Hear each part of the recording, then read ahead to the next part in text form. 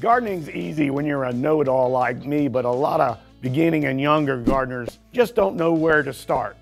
So today, for you beginning gardeners, for you newbies out there, I'm gonna tell you the five garden tools that you absolutely have to have before you get started out there in the yard. Now the first one is a good pair of pruning shears. And when I say good, this applies to all the garden tools you're gonna buy. Don't go for the cheap stuff. If you buy cheap stuff, yeah, it'll cost you less money, but it'll make more work for you. They won't last very long, and then you'll just go out and have to buy yourself another pair. So get yourself a quality tool. The first tool I'm showing you here is absolutely essential. These are hand pruners.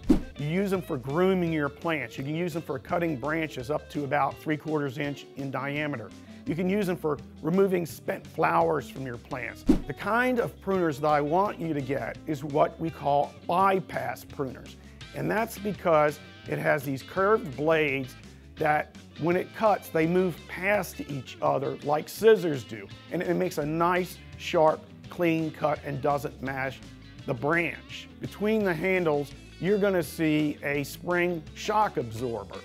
That does two things. One, when you close them to cut something, you're not gonna be wrapping your knuckles against each other because that's really painful. The second thing it does is when you open your hands back up, you don't have to pull the blades back open.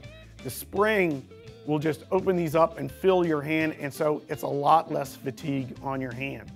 The third feature I like to see is hand pruners that are shaped to the contours of your hand because that's gonna be a lot less tiring to your hand when you use it. Now, the next tool you really gotta have is a good trowel. This is what you're gonna be using to plant most of the things in your garden. This particular one I use in my garden. I've been using it for five years. I love it. I wouldn't be without it. It has all these different features that I really like. First of all, it has a wood handle. Feels good in your hand. Also, on cold days, it's hard to really work with a metal tool without a glove on, but with this, it's very comfortable. Second thing is, it has a nice big blade to it. And if you're trying to scoop out dirt to make a hole, it's gonna do the job pretty quickly because this thing can take out a lot of soil. One feature that this particular trowel that I'm holding has now that you might wanna look for is on the front blade of this, it is sharpened, it's kind of beveled. What that does, it makes a cutting edge. So let's say you're cutting down through the soil and you're just trying to make a nice big hole for a plant quickly and you find roots under there for maybe a shrub or a tree. You just pound this thing down, it'll go right through the root and it makes digging and excavating a hole just a lot quicker and with a lot less effort. Is this American Gothic enough for you? This is the third essential tool you'll need in your yard. This is a garden shovel. This is for planting big stuff and digging big holes. If you want to dig a hole quickly, you want to make sure that you're getting a shovel and not a spade. A spade is flat. It's for digging trenches. You want something that's rounded like this. It penetrates the soil quickly and allows you to dig a nice big hole without too much effort. One thing you'll also notice that this end of the blade has a rolled edge, and that's a good place for putting your foot when you're stomping down on this thing, trying to dig a large hole. Now, unless you bought a house in the middle of the Sahara, your yard is probably gonna have trees. So you're gonna need to get a common yard rake. Unlike the other tools I've showed you before, you don't have to spend a whole lot of money on something like this. You'll notice this one does not have a metal head to it. It has a plastic head. That's just fine. When I look for a rake like this, I look for one with the biggest head I can find because that's gonna allow me to sweep it over the lawn and with far less passes, I'm gonna be able to collect all the leaves.